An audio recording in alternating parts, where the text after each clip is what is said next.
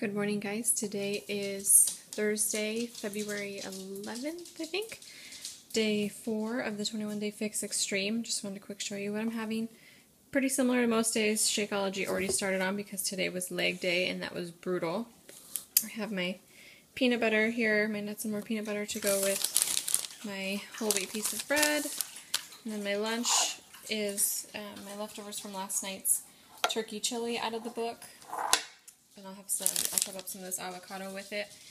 And then my snacks, once again, my berries and my yogurt, have those every single day. I usually have an apple every single day as well. I'll pair that with my other teaspoon of peanut butter. And then the other snack here, I have some carrots and tomatoes and some cauliflower.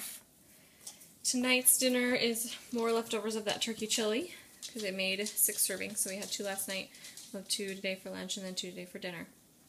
If you guys have any questions, feel free to follow me on Facebook, um, facebook.com backslash burn it off with Becki, B E C K I, or you can always message me on YouTube as well.